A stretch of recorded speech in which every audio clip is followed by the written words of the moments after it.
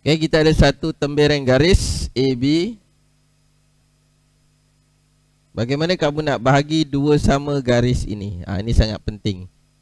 Sangat penting membahagi dua sa sama.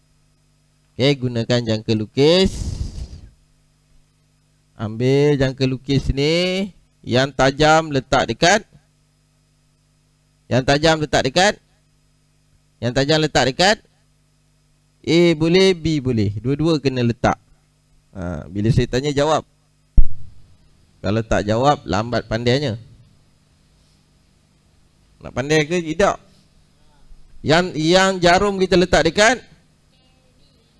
Yang jarum kita letak dekat Yang jarum kita letak dekat Yang jarum kita letak dekat Okey Bukan dekat BA ni Dekat dia punya sini Okey Tanda Dia mesti ha, Ini lebih kurang dia punya setengah kan ha, Dia punya tengah-tengah Jadi kita kena lebih sikit 3 per 4 Daripada garis Okey, tanda atas, tanda bawah.